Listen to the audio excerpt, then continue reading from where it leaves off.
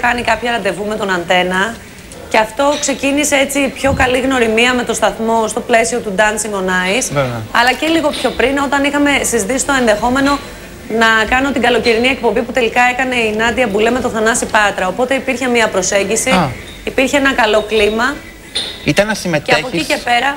Στην εκπομπή ή να. α, Όχι, ήταν να αναλάβεις- την παρουσιάσω. Να την, Την παρουσιάσεις. παρουσιάσεις. Θες Να της την Νάντιας, δηλαδή. παρουσιάσεις Πέρσι εσύ. το καλοκαίρι. Α, Και μάλιστα. γιατί δεν ε, έγινε; Γιατί τότε είχα το συμβόλαιο μου στο Alter που έλεγε 15 Ιουλίου και δεν υπήρχε περίπτωση να το σπάσω για να...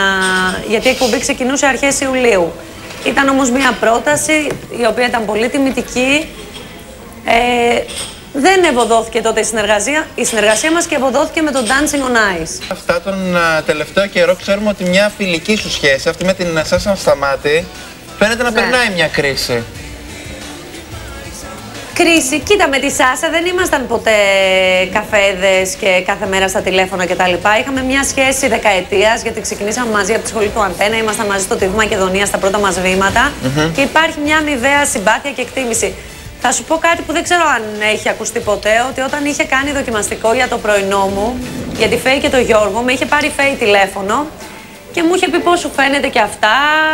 Και της λέω, Φέη, πάρτιν με κλειστά τα μάτια. Ε, γιατί μέχρι τότε η Σάσα είχε κάνει κάποια δοκιμαστικά και δεν της είχε κάτσει κάτι. Και για το πρωινό, νομίζω μαζί σου, Ελεονόρα στον Αντένα. Και γενικώς είχε κάνει κάποια δοκιμαστικά. Εγώ, και δεν συγγνώμη. είχε τύχει να, να, πάρει, να της καθίσει έτσι μια κουβέντα και μια συνεργασία. Και όταν είχε κάνει το δοκιμαστικό με τη Φέη, άρεσε στη Φέη. Αλλά με είχε πάρει γιατί ξέρω ότι είναι φίλη μου. Εγώ της την είχα ουσιαστικά προτείνει και στο πάρτι με κλειστά τα μάτια. Θέλω να πω. Τώρα τι δεν σχέσεις ξέρω. έχετε όμως, Σταματίνα. Τώρα οι σχέσεις σας πώς Για μισό είναι; λεπτό, γιατί εγώ Γιατί δεν, δεν ξέρω έχουμε το τη- επεισόδιο. Συγγνώμη κιόλας που διακόπτω και μπαίνω στη συζήτηση έτσι Ναι. από την άσχετη, αλλά δεν έχω καταλάβει τι έχει γίνει. Δεν ξέρω το επεισόδιο εγώ. Δεν έγινε κάποιο συγκεκριμένο επεισόδιο. Η Εννο- Σάσα έχει εννο- ένα, ένα ιδιότυπο χιούμορ. Απλά θεωρώ ότι στην περίπτωση του Σταύρου Θεοδωράκη, σε αυτό το σχόλιο. Έκανε ένα λίγο σχόλιο. Με στεναχώρεσε. Το συζήτησα όμως μαζί της και τελείωσε. Τι Δεν- είχε